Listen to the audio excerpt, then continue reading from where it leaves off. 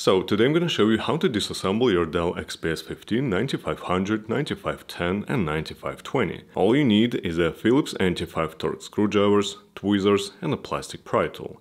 I'll put the links to all the stuff down below in the description. Okay, so let's go ahead and start by removing these 8 screws that hold the base cover to the casing. Now with those screws removed, you're going to need a spudger or any plastic opening tool to pry open the cover. Starting from the bottom left corner, carefully pry the base cover in the direction of the arrows.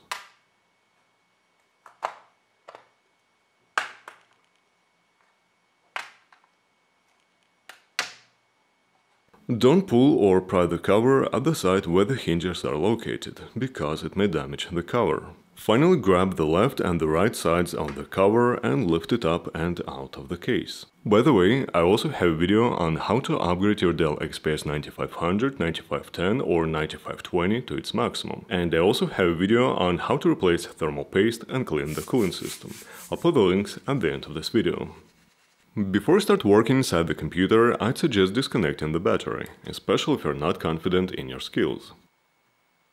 Next, we need to remove the fans. Disconnect the fan cable from the board, then remove these two screws and slide the fan out of the heatsink, like so. To remove the left fan, you need to disconnect the cable, then remove these two screws and this metal shield. Finally remove the screw and slide the fan out of the heatsink. Once that's done, we can start removing the heatsink. In the reverse order as indicated on the heatsink, loosen the four captive screws and remove the heatsink from the board. Next, we need to remove these 8 screws that secure the battery to the palm rest assembly, and then flip the battery over. Next, we need to disconnect all the cables and remove the brackets. Let's start with removing wireless card bracket, and then disconnect the antenna cables.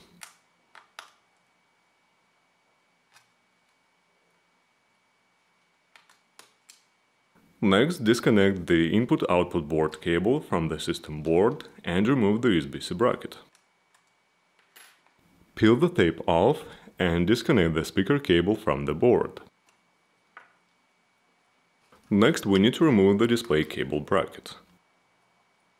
Carefully disconnect both cables and then remove the two screws that secure the display cable holder.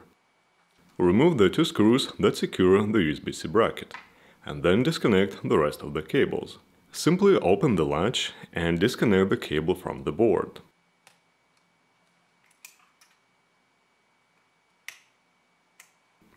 Finally remove the two screws that secure the system board to the palm rest assembly, and then remove the board.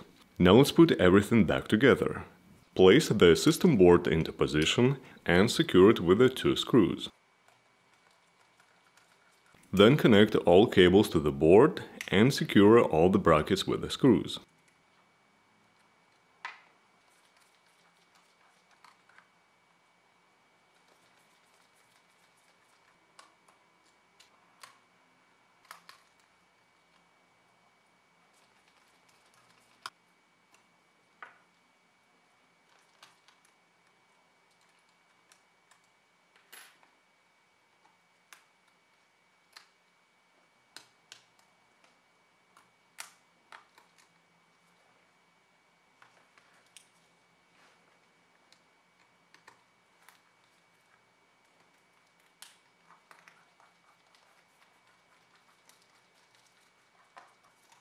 Now carefully attach the heatsink and in sequential order tighten the screws.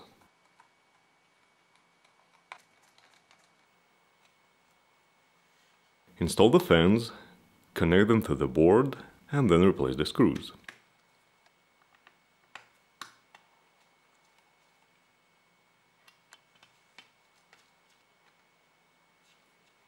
Connect the battery to the motherboard, put the cover back on and snap it into place by starting from the bottom right corner and then work your way around to the bottom left corner.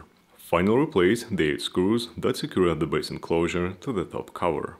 After your computer is reassembled and powered on, you'll be alerted that the time of day not set, and that's because the battery was disconnected from the motherboard, which resets the BIOS settings to the factory defaults. So you may need to update your BIOS settings, or simply click continue to resume normal functionality. So that's it, I hope it was helpful and thank you for watching.